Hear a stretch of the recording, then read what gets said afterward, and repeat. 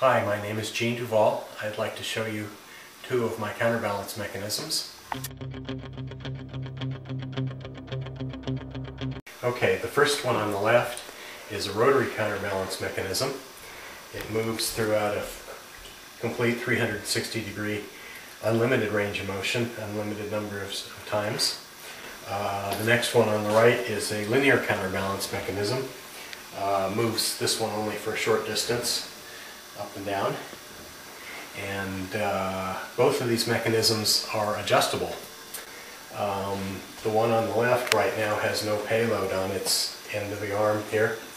Um, so if I want to uh, add some weight to it, um, I have a, a weight here that I can put on the end of the arm. If I unlock the arm, you can see that it's now turns it into a pendulum.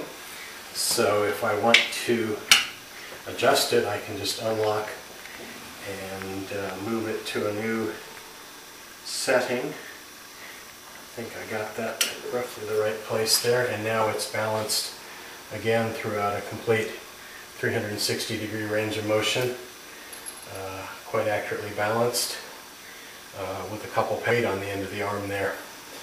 Um, see, I'm not sure what to go to next. One thing I would like to stress on this is how easy it is to adjust. Um, if you can zoom in on my finger there, um, uh, even though I'm stretching a spring here, it's the adjustment itself is very well balanced so that it um, just takes probably less than an ounce of force to adjust it.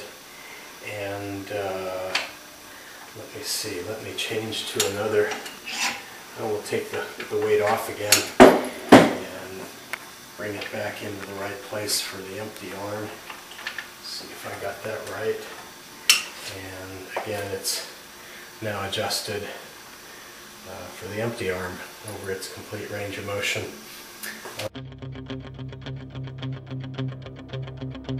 This is the linear counterbalance mechanism and right now it's adjusted with the gallon of water here dyed nice and blue with a roll of tape on it so you can see that it stays balanced over its range of motion. Um, but if I push it down to the bottom and remove the roll of tape you can see that it's changing the overall weight by maybe a percent or so. Uh, brings it back to the top. Um, the way this mechanism is adjusted is by turning the knob here which gathers up different numbers of springs, different coils of the springs so if I turn it uh, in this direction, um, that increases the force, so it, it, brings it back to the top.